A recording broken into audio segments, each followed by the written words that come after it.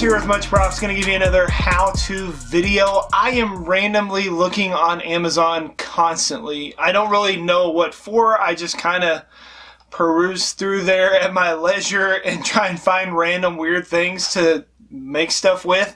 And somehow I stumbled down the like paper craft area and I found these like masks made out of like cardstock and I didn't really know what I was going to do with it when I bought it, but it showed up. I pieced it together, and then it sat over in the corner of my build room and just kind of collected dust for a while. So I think I'm I'm going to try and make something with it. Maybe just harden it with some resin and then add some stuff to it to make it weird.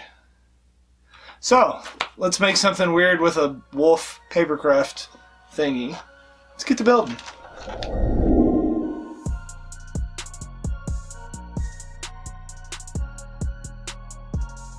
I ordered this werewolf papercraft off of Amazon. I'll link it in my affiliates page. Started by carefully pulling off the perforated parts from the pages and following the instructions, folded it the proper direction and superglued each individual part. Pay attention because some of the parts are mirrored and you don't want to fold them the wrong direction. I don't know if it was intended, but the werewolf looks like the Stark crest from Game of Thrones to me.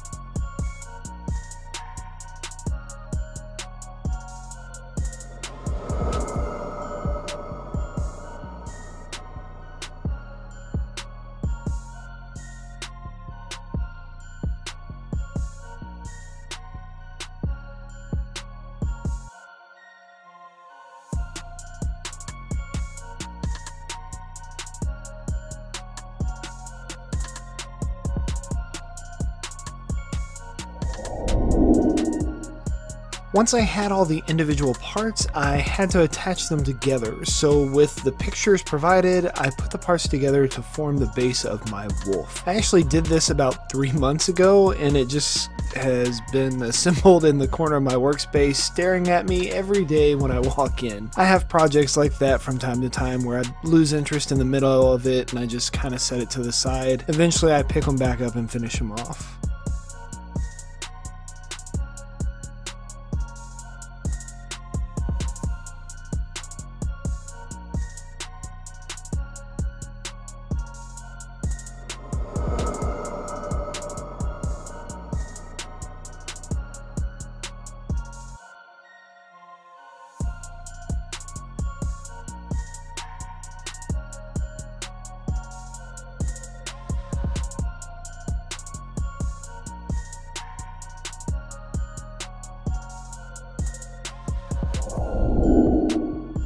I've never done any Pepakura papercraft type stuff before and I really wanted to make this a solid piece. Right now it's pretty flimsy. So I thought I would put on a thin layer of XTC resin I have to kind of harden the outside. It's technically for 3D prints but I've used it before to harden EVA so I thought why not try it with paper. Mix it together a two part A to one part B and brush it on. I put two coats on the outside to stabilize the shape.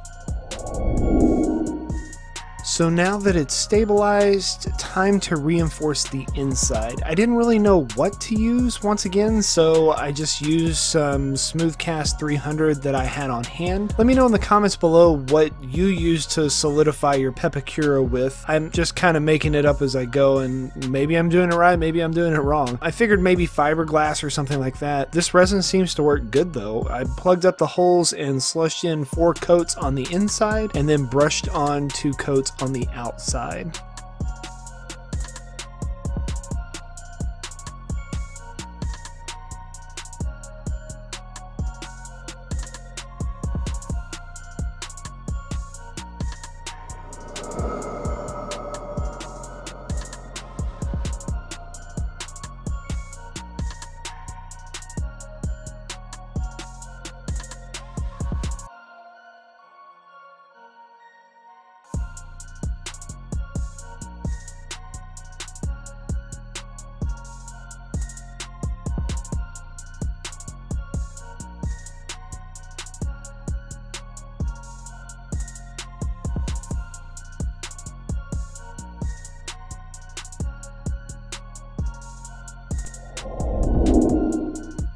I did a rough sanding over all my surfaces and decided to give my wolf a little cyber flair. So diving into my Evil Ted Cosmold castings, I found a few that I think will do the job. Sand the back of them and super glue them into place. I keep it as close to symmetrical as I can by eye and then just space out the parts.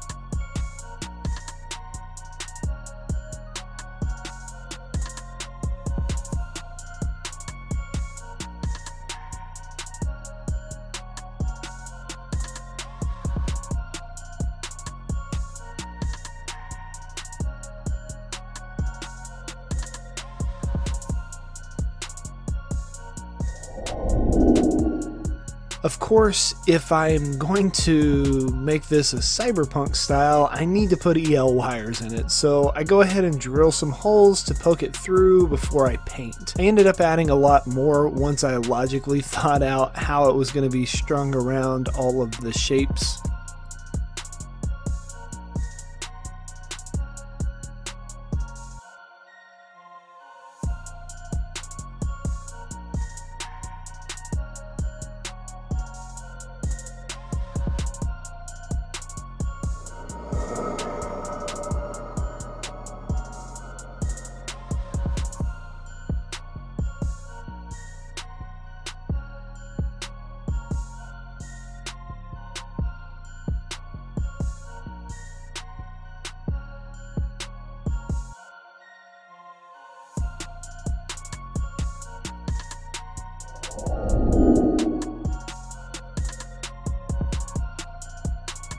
I threw down two coats of black spray paint for the base color. I kind of liked it black, so I thought that I would make the pieces stand out just a little by adding some silver wax paint on the ridges. The EL will sit in the valleys, and I thought it would be a good contrast between the two and keep it from just kind of blending all together as one big black blob of stuff. So I painted on scratches and also used my finger to rub on the edges.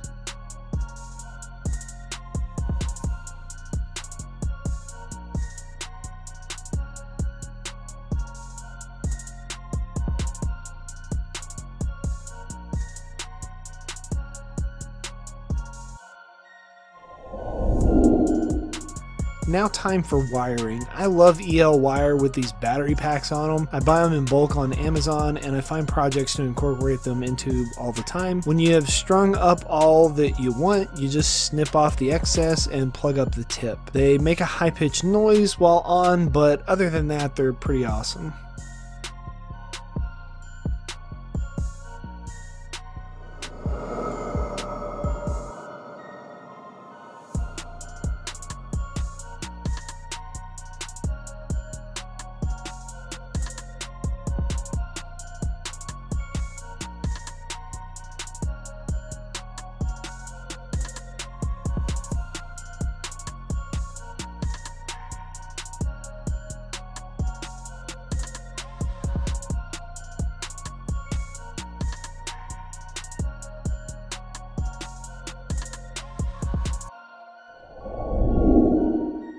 I did this on my rusty dummy build also. I glued in some gems onto the nodes on the top of his head. This also keeps me from having to try and paint inside on that sphere, so it's kind of the easy way out. Just hot glue them into place.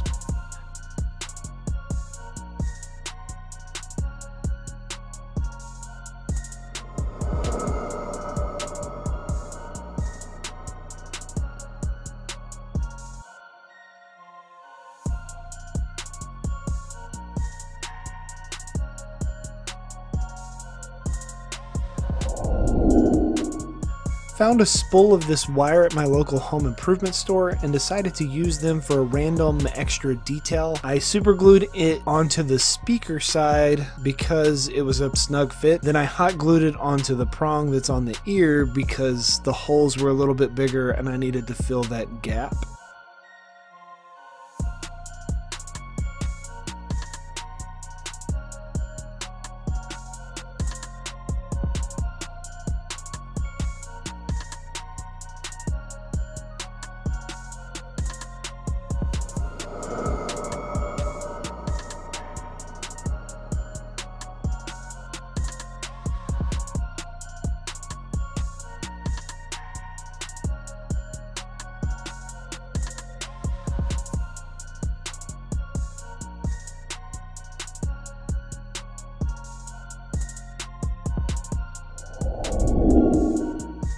I thought it needed just a little bit more detail, so I bought some faucet connector hoses and inserted them into the holes that for some reason were in the design on the wolf. Maybe breathing or something, I don't know. The hot glue didn't really do anything, so I just drilled in a couple of holes and zip tied it onto place.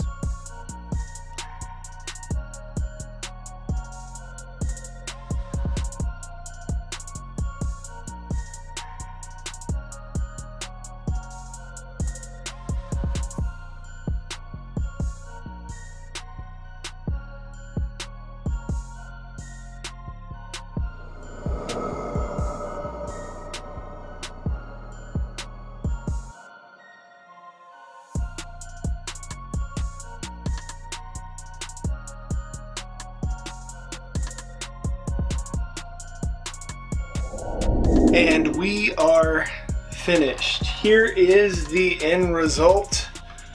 Overall, pretty pleased with the way it turned out. Uh, there are a few things that could be done differently or better, or I'm sure that you guys probably know of better materials, resins, uh, maybe even fiberglass or something to harden it, and it would be a little simpler. But I worked with the materials that I had, I experimented a little, and it ended up making it pretty pretty sturdy. So I think it looks pretty cool. Maybe you will try and experiment yourself with random found things on an Amazon binge, watch through, search through, get lost in, and spend too much money through. Maybe you'll get some. Yay! And inevitably, they're going to ask you, How'd you make that? You can give them one of these, tell them, much props. Alexa, turn studio lights off. Okay. Um. Uh.